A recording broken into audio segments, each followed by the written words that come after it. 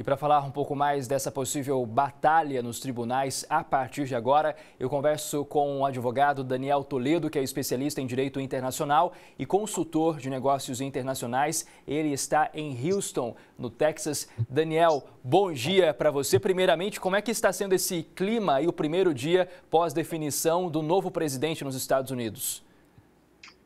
Bom dia, obrigado mais uma vez pelo convite. É, o clima está tá tenso nos Estados Unidos, né? A gente percebe aí uma série de ações, não só do presidente Trump, como também dos democratas, num sentido de chamar o povo para algumas atitudes que às vezes acabam sendo até violentas. Em alguns estados a gente tem visto isso acontecer.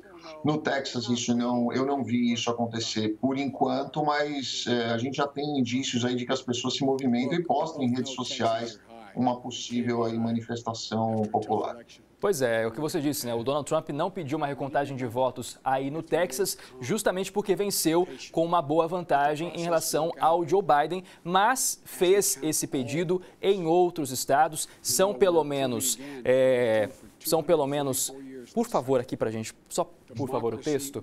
São pelo menos, ao que parece, as primeiras investidas dele na justiça que não surtiram efeito, né? Como é que fica essa questão a partir de agora? Quanto tempo a justiça leva para analisar essa questão desses pedidos do Trump? Ah, o tempo que a justiça vai demorar é um pouco subjetivo, porque vai depender de como vai ser feita essa, solicitação e como vai ser feita essa recontagem de votos. Né? O Rudolph Giuliani é um dos melhores advogados que, que, que, que, estão na equipe do Donald Trump e ele já tem encabeçado isso muitas vezes. Uma coisa que eu acho que é importante a gente falar é que o presidente Donald Trump trouxe uma série de, de publicou inclusive uma série de, de possíveis fraudes que estavam acontecendo, mas eu mesmo só localizei duas, né? E essas duas é, teriam uma, uma quantidade muito pequena de votos. E outra coisa que eu acho que é importante também as pessoas saberem é que pode sim ter um sentido nessa alegação dele, porque nas eleições de 2016, um quarto dos votos foram feitos justamente pelo correio, que é o que ele está questionando agora. Então eu acho um pouco é prematuro a gente decidir, tomar como decidida essa decisão antes de escutar os tribunais. Pois é, embora seja um direito de qualquer um questionar, tentar impedir que ilegalidades sejam cometidas, ainda mais em um processo eleitoral, até agora, como você disse, não há indícios de crimes, né? O que, que o Trump precisaria provar para poder reverter essa situação e ser favorável a ele uma possível recontagem de votos, dando a ele talvez uma vitória? Eu, quando eu fiquei sabendo dessa, desses possíveis crimes, né, desse, dessas alegações de crimes, a primeira coisa que eu fiz foi tentar ter uma visão mais fria e eu fui procurar entender o que estava acontecendo e se existiam realmente os reportes desses crimes, né? Porque a primeira coisa que você faz quando você apreende alguma coisa ou quando você vê alguma coisa, você vai na polícia fazer o report para documentar. E eu só encontrei dois. Existem dezenas, talvez centenas de denúncias, né, que são feitas inclusive em redes sociais, com fotografias e vídeos que você não sabe bem de onde que é. Mas eu só encontrei dois reportes. Esses dois nem diziam tanta coisa assim a ponto de mudar uma eleição.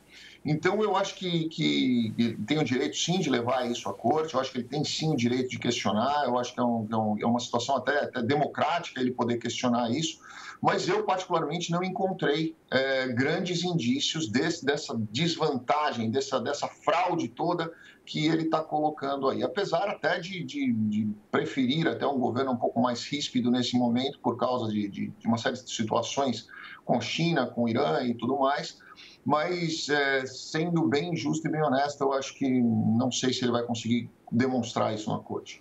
E Trump tem um prazo para fazer esse pedido de recontagem dos votos, até porque a gente sabe que em 6 de janeiro os delegados efetivamente definem ali o presidente eleito dos Estados Unidos, né?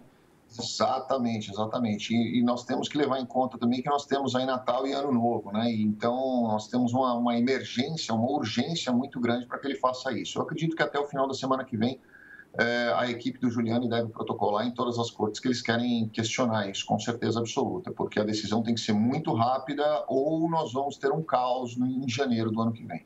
Pois é, eu queria até que você acompanhasse com a gente o mapa da apuração para mostrar como é que está a situação neste exato momento. Joe Biden, então, ganha com 290 delegados contra 214 de Donald Trump. É o que falamos há pouco, apenas três estados ainda não definiram, ah, não consolidaram os votos. E é uma ampla vantagem de Biden contra Trump. Não é? A gente até comentava isso durante a semana o seguinte, que se o Biden ficasse ali cravado nos 270, isso facilitaria para o Trump nessa, nesse pedido de recontagem de votos. Agora, com esse número maior, fica mais difícil a situação do presidente, atual presidente Donald Trump, não? Com certeza absoluta, foi o que eu até, até comentei antes aqui. Quando nós temos aí uma diferença tão grande, tão, tão gritante, é muito difícil, mesmo que ele reverta um estado ou talvez até dois estados que tenham um grande eleitorado, aí não, não vai chegar sequer perto aí dos, dos 270 pontos que ele precisa. Né? Se nós somarmos mais 50 pontos aí a Donald Trump, tirarmos 50 do, do Biden e somarmos 50 no Donald Trump, é, ainda assim nós vamos ter um impasse gigantesco onde ele não vai chegar aos 270 que ele precisa. Então, eu particularmente acho que humildemente Donald Trump deveria reconhecer que vai ser um pouco mais difícil dele, dele reverter, e mesmo que reverta, não será em todos os estados. Daniel Toledo, e é um processo que custa dinheiro, né? Inclusive, a gente tem visto o presidente tentando angariar fundos para poder entrar com esses processos, com esses pedidos na justiça. O custo nos Estados Unidos de um processo é maior do que no Brasil, por exemplo?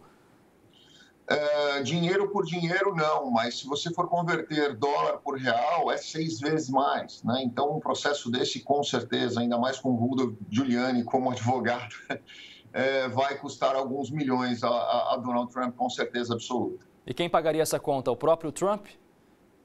Ou a campanha dele, né? Ou, ou, a campanha que ele tem angariado fundos. A gente vê muita, muito, muita propaganda, inclusive em rede, em, em rede social, onde o filho dele pede recursos. Ontem mesmo eu estava olhando o Facebook e, e, o filho dele fez vídeos, diversos vídeos, pedindo recursos, pedindo doações de campanhas é, para poder realmente angariar fundos para defender o Trump. Na verdade, ele fala em nome do país e não do Donald Trump é, mas com certeza virá desses fundos ou até, de repente, do próprio bolso dele, porque se trata de, um, de uma ação né, e não de uma campanha é, eleitoral.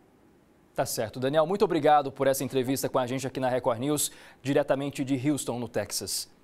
Muito obrigado a vocês, um grande abraço, um abraço, ótimo final de semana.